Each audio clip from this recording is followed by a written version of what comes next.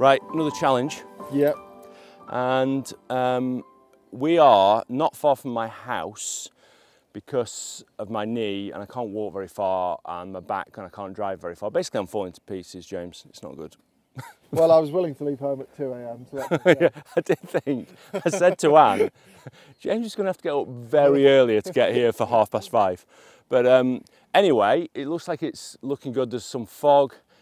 And we've got a challenge where we're going to flip a coin, a lens cap. yes, this is the second time we've done this, and it's the second time neither of us has had a coin. so we're using a lens cap again. Uh, in this case, it's a little Sony one.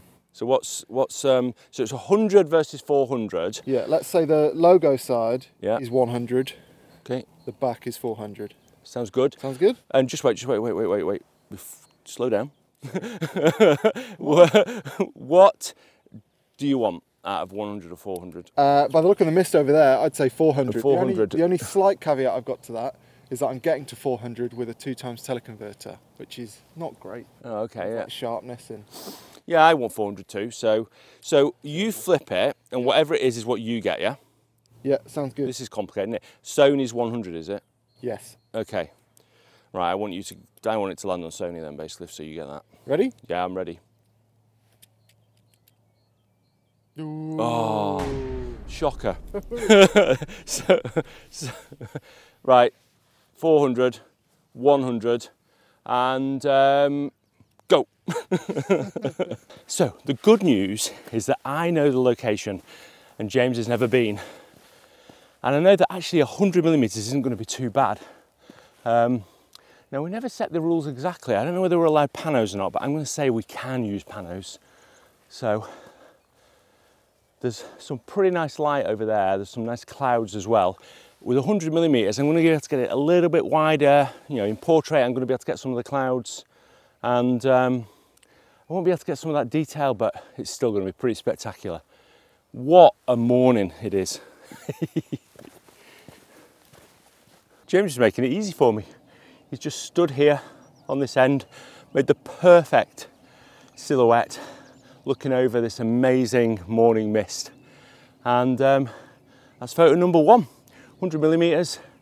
I've shot it at um, around about f8 and um, I've just got to up the ISO a little bit just in case James moves, but it's looking pretty good this.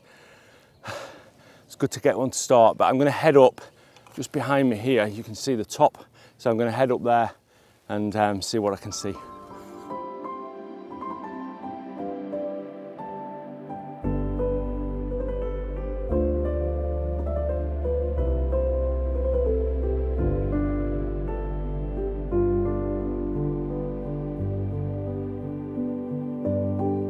So the sun's not come out yet. The sky's pretty spectacular, which would make a reasonable wide angle shot, I think. But the thing to be careful of when it's like this is it's quite hazy. And if it's hazy, you don't get a lot of depth perception because if you're shooting with a longer lens, then everything's a little bit grey. Uh, so what I want is some way of breaking up that um, haze. Obviously the sun is a good, a good way of doing that. And I think as long as the cloud doesn't stop it, the sun's going to come up over there. And when the sun comes up, there's going to be some nice light rays. I've just got to hope it does that before the sun gets too high. Because if the sun's too high, it's going to be shooting too far down. I want it sort of, sort of raking across the land.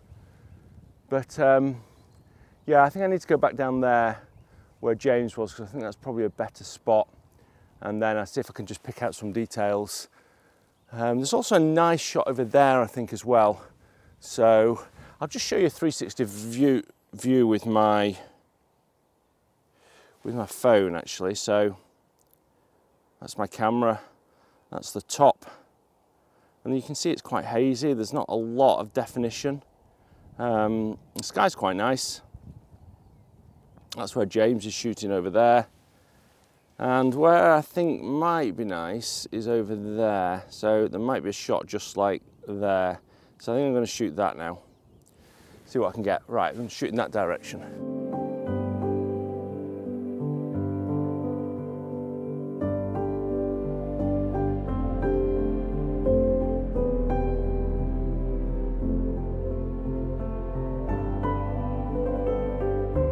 So, how's it going? Yeah, not terrible. My main problem at the moment is I'm using a teleconverter. I can't remember if I said that before, but uh, autofocus at 400 when you've got loads and loads of mist and not much, not much contrast. Uh, that's been a bit of a struggle. So Tricky, tricky, yeah. so far. But it, I think uh, it, it's quite hazy, isn't it? And also, the clouds are going when when subdued, but now they're getting better again as the sun's just about to come out. I think when the sun comes out, it's going to look good. Yeah. But um, yeah, I, I think there's not as much fog over here, so I'm going to go back where you were Yeah. and see if I can pick out some details. Those trees are nice. It's a shame about the electrical pylons, isn't it? Well, I've just taken a photo and I've just been saying I quite like them. Oh yeah, yeah. well there we go then. Beauty of shooting with someone else. But that's me and man-made objects. I'm like, get rid of them all. So right, it's getting good now. So we need to go and shoot. Oh, those clouds are good. It's a shame. See over there. Uh, nope, that's fog. Cracking. Right, as you can probably see over there, the sun's coming out. So I'm racing as quickly as I can race down here, and I've seen a tree that's looking pretty good. I don't really like these electrical pylons though. James said he did, but you know, James and man-made objects, he just loves them. Not so keen myself, but I think there's definitely going to be a shot down here. Oh, this sun's so nice and soft. Just look at it over there. Right, get to this edge over here and see what I can find. Right, don't trip up. So, I have got at the moment, uh, just let me show you, I've got this tree down here in the middle and this tree next to it, and I'm making those the centre of the shot. And then I've just tried to get a little bit of the fog or mid-ground in as well because I feel like it just anchors the bottom of the frame. The colours are quite nice. The sun's just not quite coming out. The clouds fighting it a little bit. And then I think I've got a shot just down here. So just down in this bit here, um, which I think's look good. So I'm going to frame that up, get this shot, and yeah, it's looking pretty good. This. Don't know how James is doing up there. I think um, he's um, 400 millimeters is long.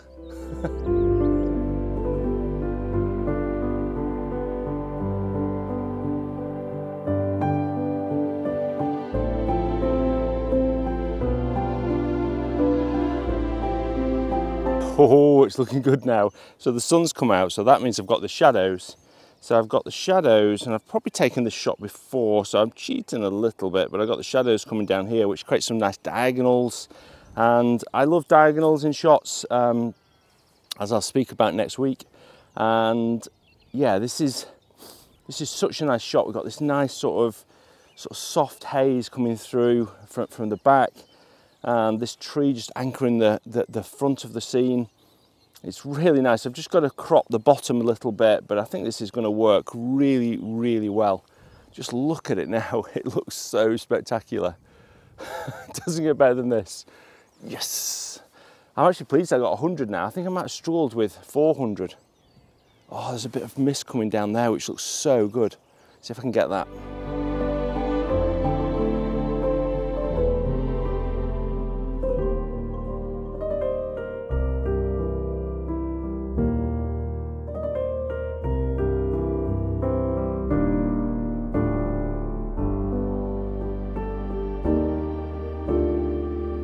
So one of the things that you've really got to watch out for when you're shooting um, like this and, you, and you've got quite complex scenes is, is really think about the edges and the corners and the, and the elements of the scene. So here, for instance, you've got to watch out that if, I compose it like this, can you see that that tree's on the edge there? Um, you know, the bottom corner, the bottom left corner here maybe is a bit tight. So just thinking about those edges is so, so important. You know, compose your shot and then just either zoom in, I can't zoom in or zoom out, but you will be able to, obviously, um, and move it up or down. Just those small changes can make such a big difference to your shot. So think about that when you're shooting, and especially when it's more complex scenes like this, because really makes a difference. You want to try and create something that's simple um, and things look like they're, they're placed in the right in the right spot. Right where I'm going to go next.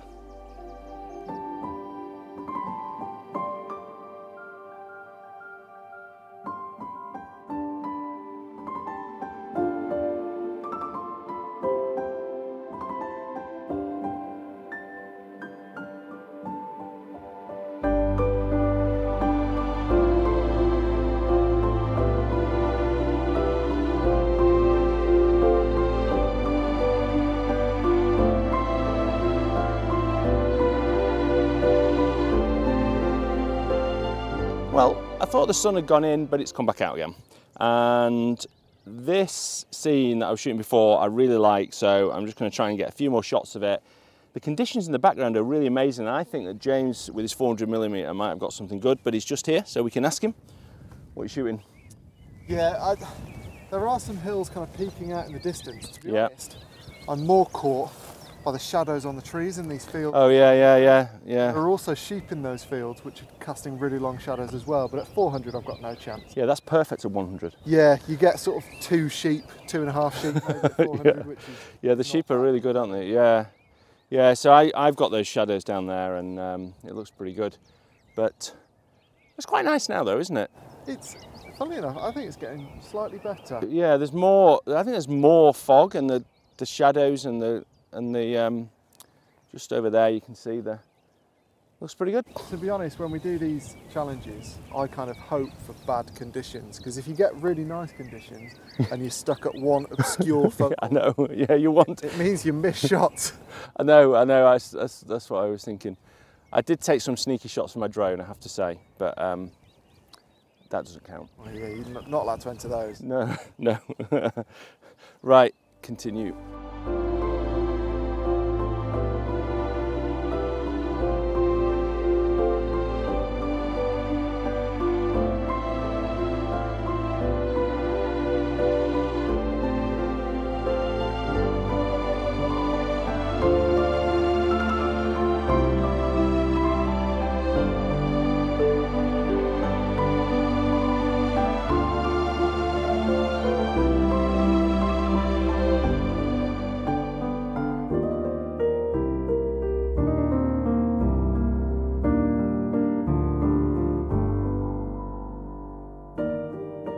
So I've talked about this a few times, but the lights come out again, and the lights slightly different because there's a little bit more fog now, and I've gone horizontal rather than vertical. So I quite like this. I, quite like these three sort of lines of trees here. I'm not sure whether it might just be a little bit dark on the left hand side, so a little bit heavy. Not 100% sure about that. Sometimes it's difficult. What I could potentially do is just move it round and, and bring in some light. So that might work if I do that. But then I'd need to zoom out a little bit, which I can't do. But uh, I think that looks quite good. If I were to be able to zoom out, then that's what it looked like. But I can't. So that's what it looks like. If only. I'm getting some jip over there, but there we go. Yeah, so this is, wow, this, it makes such a big difference when the sun comes out, doesn't it?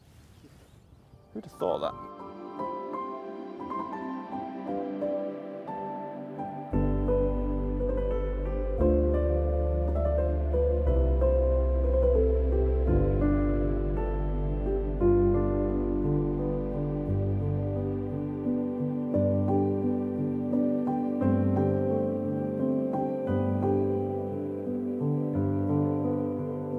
Right, so there's a tree that was just about here that actually I think is quite a nice shot at 100 millimeters, but James has probably got the best focal length for that because he can just isolate it so well and have white around it.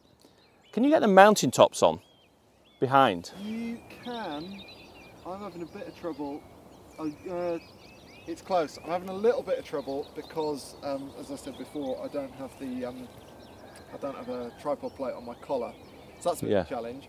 But there are some layers up towards the sky, Just um, sort of. just top tip for any um, beginner photographers out there, as James obviously is. Um, don't do that. You definitely want to anchor your tripod onto the collar of the long lens. Well, I think people know to expect expert tripod advice from me anyway. So. This is like, look at extended central column onto the thing there. There's no wobble at all with that. It's just like solid as a rock. I think is. it's broken. I think I tripped over it. I remember, I tripped over on the beach in oh, Iceland. I think I've broken it, so it's not stable in any case. Basically, Was that was, was that trying to escape a, a wave, or was that when we were shooting Aurora? Uh, I was trying to escape a wave that time. Yeah, yeah. Which is good. Save, saving I your life is better than knackering your tripod. Yeah, but I have tripped over a tripod multiple times on that beach.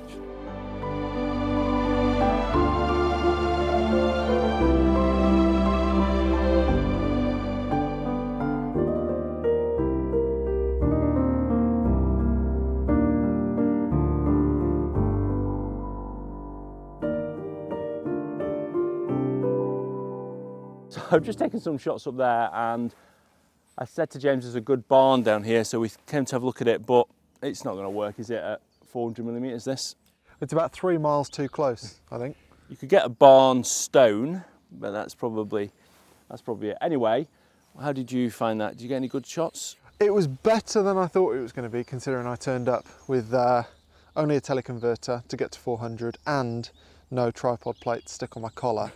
Uh, so I, it, I think it went okay. I mean, it, it, helped that the mist hung around. I mean, in the distance, there still is still really misty. Quite a bit of mist. It's crazy, yeah. Which often isn't the case, as uh, all photographers will know. Typically, it disappears within 20 minutes of sunrise, but that helped a bit. Um, all in all, a, a, good morning, I think. Yeah, I, I, I think I got one or two good shots, hopefully. But by the time you're seeing this, you've seen them, so you'll know. Um, what, what's interesting with the mist, though, uh, is that as the sun goes higher, then it's not as good shooting the mist, I don't find, because then you lose some of that sort of definition and layering, don't you, and the advantage. Because we, we were lucky, actually, we were shooting into the sun over there, so we got a little bit of beams coming through. Yeah. But as it gets higher, it sort of flattens everything out a bit, doesn't it? Yeah, and I suppose we... a bit white. We didn't have kind of all morning shooting with beaming sunshine, because there was a lot of cloud cover in that direction as yeah, well. Really early. If it had been sunshine from really early on, it could have been pretty spectacular, couldn't it? Yeah. Um, but we just didn't quite have that. But all in all, it was pretty good. Um, anyway, go and check out James's video. He's was already published, I think, last week. So check it out and make sure you give both of them a thumbs up. And um, thanks for watching. And don't don't take any tripod tips from me. No, definitely, definitely don't do that. Although every time I'm with James, he uses his tripod all the time. Obviously, just a big lie, really.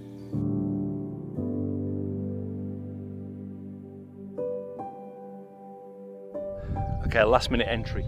Just been coming back down to the car, and actually, I've got to admit that James spotted this, but um, he's a 400 millimeter, so it doesn't work quite as well for him unless he climbs back up the hill somehow.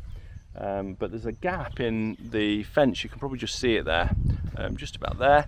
And I quite like the shadow as well, the diagonal line of the shadow, and then the grass is just nicely lit as well. And then the background's quite nice. So 100 millimeters, perfect for this. Quite harsh light, quite harsh shadow, but it, I think it looks really nice. So I'm going to grab this. This will be the final shot.